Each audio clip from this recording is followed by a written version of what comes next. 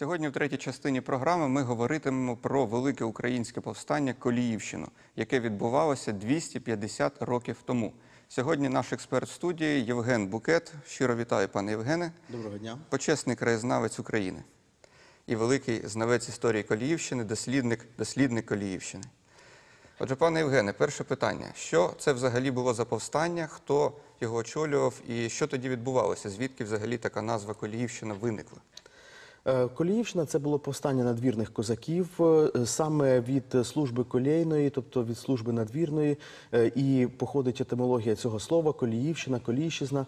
Е, Саме надвірних козаків це магнатська служба міліційна, охорона великих маєтків. Тоді називали козаками колійцями. І ці козаки колійці в 1768 році піднялися на велике повстання, яке вважається третьою Хмельниччиною, тобто третім за розмірами повстанням після повстання Богдана Хмельницького, після повстання Семена Полія, і третім була Коліївщина. І власне Коліївщина це була остання спроба відродити українську козацьку державу, військо Запорозьке, яка була заснована е, славним гетьманом Богданом Хмельницьким.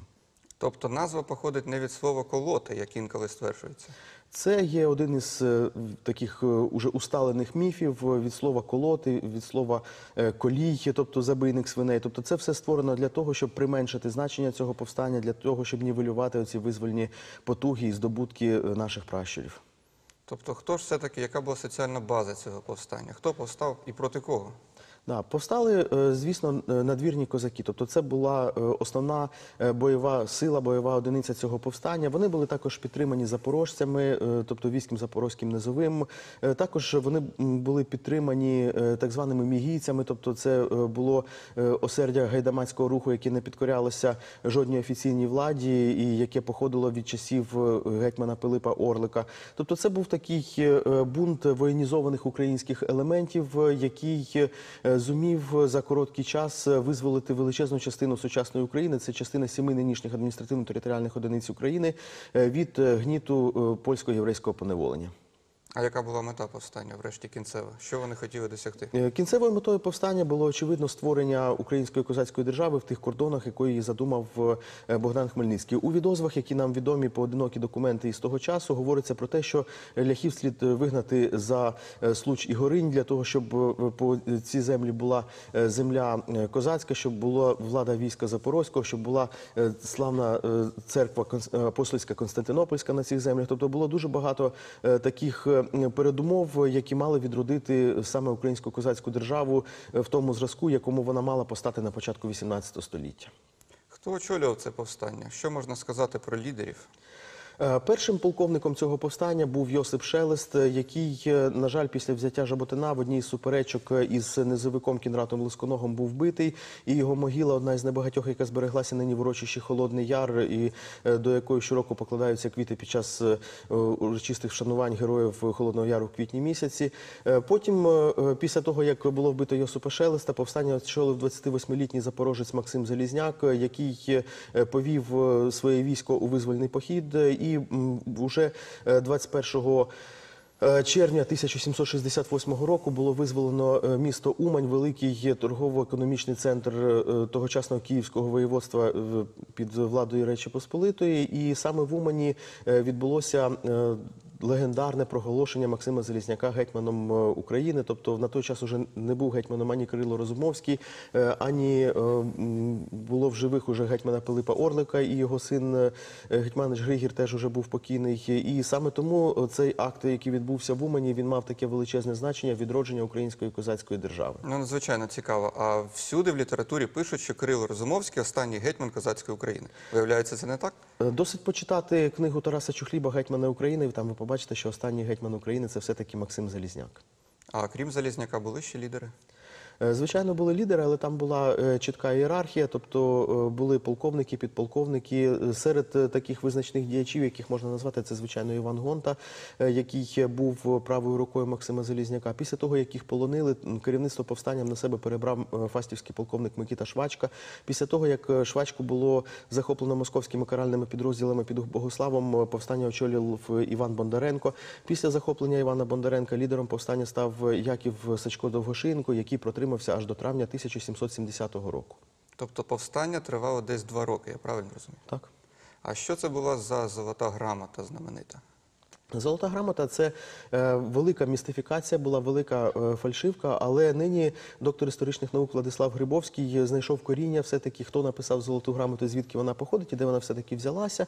І автором, е, згідно із новітніми дослідженнями, вважається тодішній гетьман ханської України Якуб Ага, який був одночасно і лідером українців в межах Османської імперії тогочасної, і працював на російську розвідку, тобто поставляючи регулярно свої агентурні дані. Таким чином йому було максимально вигідно е, підняття цього повстання, яке е, зокрема мало спровокувати російсько-османську війну, при будь-якому е, розв'язанні ситуації, з якої він виходив переможцем. І саме тому він запустив в середовище запорожців цей документ, який зветься Золота грамота, і саме він його потім опублікував у французьких газетах, скаржачись на те, що під час атаки запорожців на столицю ханської України, тодішнє містечко Балта, його було нещадно пограбовано і забрано, зокрема, атрибут гетьманської влади булаву. І саме цю булаву, за версією Владислава Грибовського, Залізняк і підняв в місті Умані, е, показуючи всім на те, що тепер він є е, єдиним і повноцінним е, гетьманом України.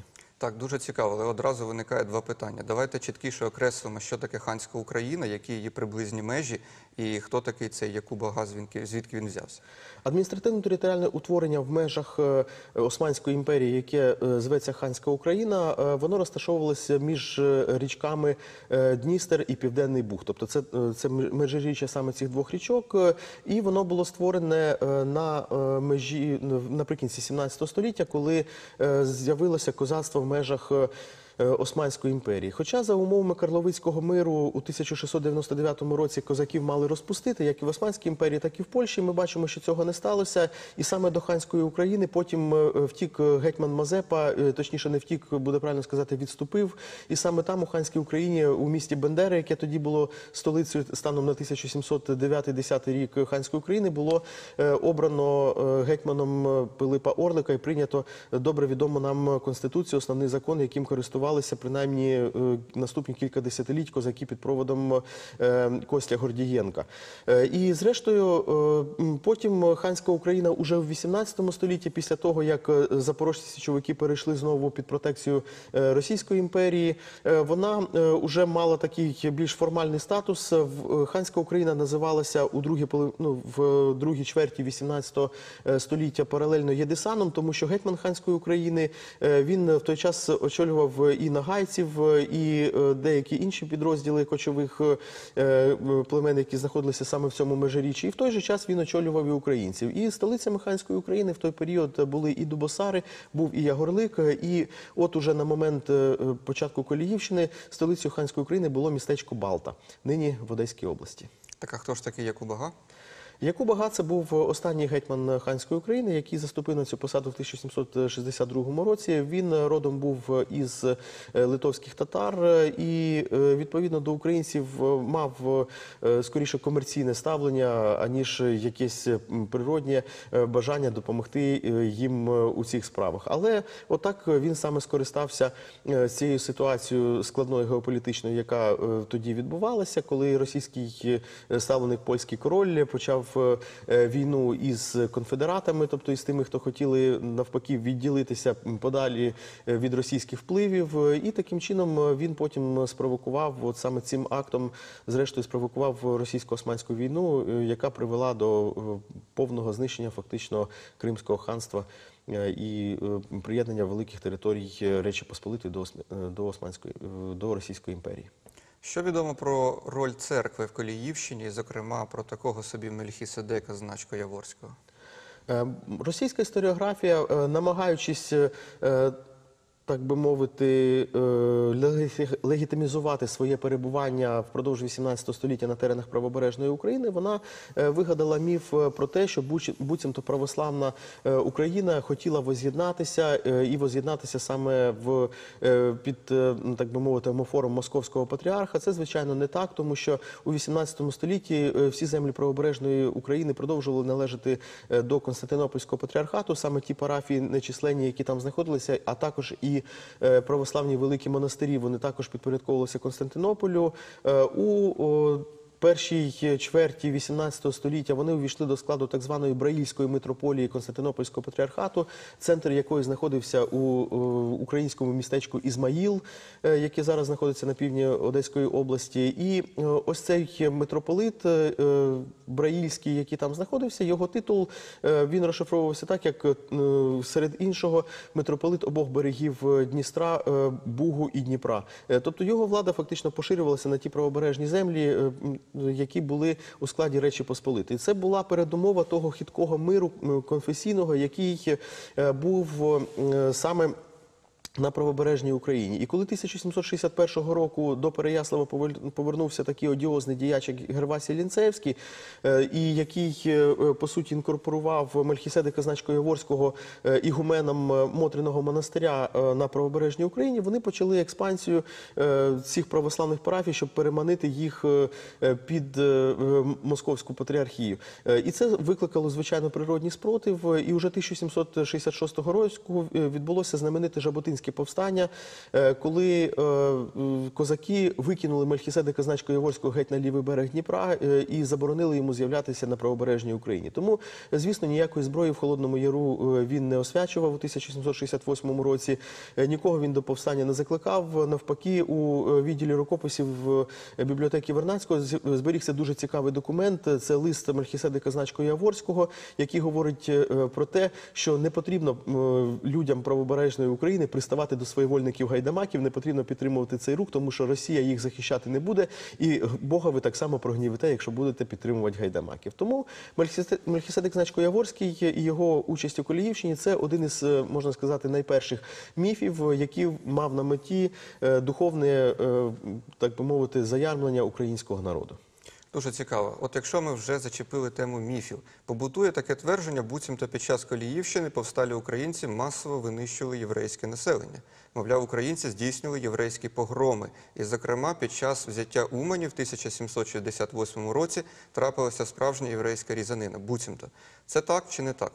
На це питання відповів, що всередині 19 століття е, професор Володимир Бонівачович Антонович Е, у своїй передмові до е, книги Архів Юго-Западної Росії, зокрема до тому, який присвячений був єврейському населенню в Юго-Западному краї, він чітко показав на цифрах, порівнюючи два переписи населення 1765 і 1775 років, що в абсолютних числах кількість єврейського населення в цей період зменшилась на 18 тисяч осіб. Е, Це означало близько 20% єврейського населення краю е, зменшилося. Але е, він же ж е, в ті- е, в цій праці е, наводив той факт, що окрім Коліївщини, окрім е, цього повстання, на, на це десятиліття припала загальноєвропейська епідемія чуми, яка покосила дуже багато населення е, не лише е, на е, території Речі Посполитої, а й на підросійській Україні. Зокрема, населення Києва зменшилось в той час е, на одну п'яту частину.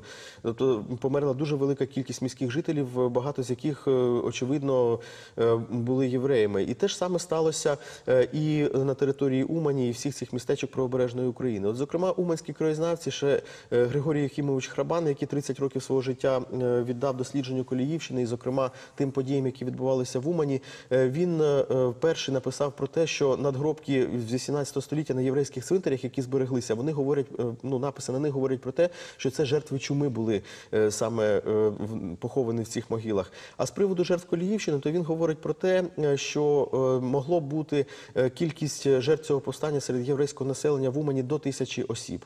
Хоча сам Максим Залізняк на допиті в Києві, коли вже він був полонений, його допитувала тут Київська губернська канцелярія, то він називав під час допиту цифру 2 тисячі е, людей усіх статей і національностей, які, які загинули під час цього повстання, але мав на увазі він не лише Умань, а мав на увазі всі терени правобережної України, е, які були охоплені цим повстанням. І дійсно, е, я думаю, що е, сучасним історикам потрібно до цієї цифри прислухатися, тому що демографічна ситуація того часу вона не дозволяла того, щоб цифри жертв були обліковувалися десятками чи то сотнями тисяч осіб, як говорять деякі пропагандистські ресурси.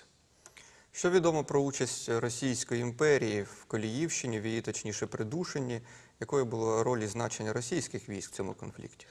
Ну, якщо говорити про 18 століття, про історію е, приєднання, так би мовити, Польщі поступового до Росії, цей часто е, російські війська, тобто, як говориться в одній із приказок е, польських, що москалі забігали на правобережну Україну як собаки на кухню впродовж цього 18 століття. Тобто і під час повстання Верлана, і під час е, виступів 50-52 років, і під час Коліївщини московські війська за дивним збігом обставин опинялися на правобережній Україні і опинялися за запрошенням одного з польських королів. Так само в цей час Станіслав Август для того, щоб придушити Барську конфедерацію, е, запросив е, московське військо на правобережну Україну. І москалі е, з конфедератським військом їхній фронт знаходився на лінії Бар-Бердичів. І, от за цією лінією фронту, тобто, якщо говорити про терени, які ближче до Польщі, тобто там Коліївщини звичайно не було. А по цю сторону цього фронту, то якраз козаки, оці спустошилі терени, вони займали і намагалися встановити там свою адміністративну владу. Це звичайно привернуло увагу Катерини II. 12 липня е, 1768 року вона е, е, звернулася до.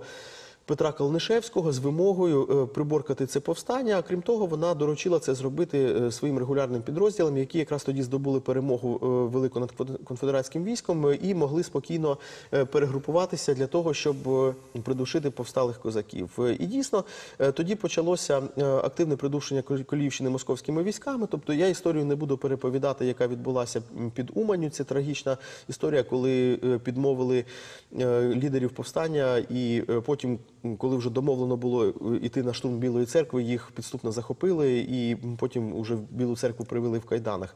Е, І те саме відбувалося по інших підрозділах. Проте е, в той же час, на початку липня, е, коли вже стало відомо про такі дії московських військ, у Фастові збирається козацька рада, яка проголошує, що не тільки ляха, але й москаль є ворогом нашого люду, належить знищувати їх на рівні, бо тільки звільнившись від обох окупантів, наш народ обрете бажану свободу. І тоді починається відчайдушний штурм Білої церкви е, підрозділами Микита Швачки і Івана Бондаренка, який мав на меті звільнення старшини на чолі з Максимом Залізняком. Штурм був невдалий. Е, Швачку в результаті захопили під Богославом. Е, Андрія Журбу вбили в таборі у селі Блощинці, нині на Білоцерківщині. Тільки Іван Бондаренко зміг вирватися і ще два тижні протриматися і вести якусь відчайдушну боротьбу в той час уже на межі Полісся і лісостепової України. Е, Але потім е, знову ж таки е, це повстання було повністю придушене, і лідерів повстання судили в Києві. Спочатку їм винесли смертний вирок, але зважаючи на те, що починалася війна між Османською імперією і Російською, і тут Російській імперії потрібно було показати, так би мовити, гуманізм, то цей смертний вирок замінили довічною каторгою у Нерчинську. І після публічного покарання, а відбулося три публічних покарання. Залізняка карали на території нинішнього міста е, Первомайська для того, щоб було е, видно, якби і Якубазі, і іншим, е, що там відбувалося.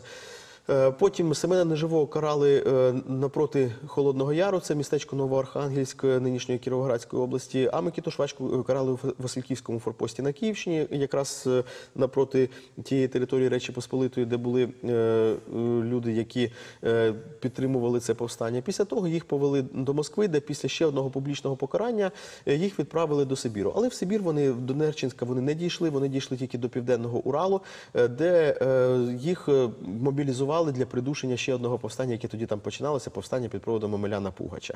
От е, але є е, фрагментарні відомості, що е, ці козаки-бунтівники, колодники, яких привели до південного Уралу, вони так і не вступили на службу російській армії, а вони приєдналися до тих повстанців, де вже в ті часи їхні сліди і губляться. Белян Пугач це Пугачов. Так. Так він українець чи росіянин? України, звичайно. Українець, який нібито видавався за російського царя, чи не так? Так, так. Ну це, це така велика історія. Я взагалі вважаю е, повстання Омеляна Пугача продовженням Коліївщини до певної міри, тому що воно мало на меті звільнення е, сибірських народів, зокрема е, башкірського народу. Національний герой Башкір Селават Юлаєв. е, Він якраз був правою рукою Омеляна Пугача і приєднався він до цього повста- повстання завдяки тому, що російський імператор Іван III дарував башкірам вольницю. Тобто, е, ну така от історія. Е, цього руху. Взагалі дуже цікаві рухи, які відбувалися після е, Колігівщини, е, після придушення цього повстання. Вони потім вже відбувалися і на лівобережній Україні, і на правобережній Україні. І фактично до кінця 18 століття ця земля все ще, все ще горіла від різних вогнищ тих чи інших козацьких і селянських повстань. То, в принципі, ситуація класична. Російські і польські війська разом як союзники придушили український рух, так, а потім Росія поділила Польщу після цього. Так? Звичайно, так. Е, І останнє питання: як відбилася Коліївщина в культурі, зокрема в літературі, в кінематографі? Е, Зважаючи на те, що е, Коліївщина е, це як такий з одного боку неоднозначний рух, а з іншого боку, як один із таких хрестоматійних прикладів реалізації народом одного із основоположних прав людини права на повстання, він надихав потім у майбутньому. І представників мистецтва, і представників літератури, і представників музики. Е, І фактично, е, якщо говорити про те, як відобразилася Коліївщина. В літературі, мистецтві, е, то це цілий пласт е, е, творів, який, ну, я так думаю, навіть в цілому ще досі немає такої роботи, яка б опрацьовувала це явище, Коліївщина в літературі чи мистецтві. Звичайно, ми можемо говорити про основні якісь речі. Це знаменита поема Гайдамаки Тараса Григоровича Шевченка, де він фактично возвеличив той дух борні за свободу, але в той же час і впровадив низку міфів, з якими досі доводиться боротися і пояснювати людям. От, зокрема, класичний міф е, про вбивство гонтою своїх дітей е, в Умані, чого насправді ніколи не було. От, е, е, але в той же час потім е, поема Гайдамаки була використана Іваном Кавалерідзе при створенні знаменитого фільму Коліївщина у 1931 році, е, який вийшов у двох редакціях 33-го року і 1968 року. Причому редакція 68-го року була е, на третину скороченою.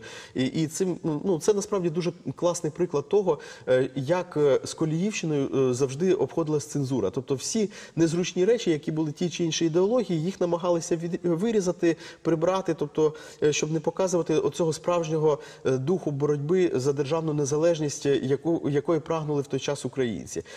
І тут ну можна багато розповідати про те, там як чи була Коліївщина там якимось соціальним там рухом. е, е, Ну е, вона об'єднала в собі величезний спектр потух українського народу. Якщо е, селяни вони безпосередньо не брали участі у цій війні, вони виконували лише е, функції організації місцевого самоврядування, розвідки е, запасу, е, ну організації е, запасу продовольства для війська. Ну от е, то радянська історіографія, яка чи не найбільше якби звеличила е, е, Коліївщину в е, саме художніх образах, е, вона е, саме використовувала момент оці, оцієї селянської революції в Коліївщині. І тут доречно згадати також е, роман Юрія Мушкетика Гайдамакі, який став таким величезним зразком, яскравим прикладом оцієї от радянської літератури ХХ століття, але такої справжньої красивої літератури. І звичайно, його повість Ходімо вклонімося, яка була вже видана 1997 року, і в якій автор намагався компенсувати те, е, чого не було сказано, не могло бути сказано в радянський період. Зокрема, от про ці національно-визвольні потуги. І от в своїй повісті е, Ходімо вклонімося. е, Юрій Мушкетик якраз розповідає легенду про Дорошенкову шаблю, якою висвячували на гетьманство Максима Залізняка. Що це був той артефакт ще з тієї епохи часів гетьмана Петра Дорошенка, який був останнім таким до Івана Мазепи гетьманом обох берегів Дніпра, який носив з гордістю цей титул. Дуже дякую, пане Євгене. Надзвичайно цікава і змістовна розмова в нас сьогодні вийшла. Ну, ось бачите, шановні глядачі, Коліївщина це зовсім не якийсь там деструктивний селянський рух, як часто можна було почути. Це була боротьба українського народу за свою державність. Дуже дякуємо вам за увагу. Ви дивилися історичний контекст. Ми виходимо в ефір щовівторка о 20-й годині. На все добре.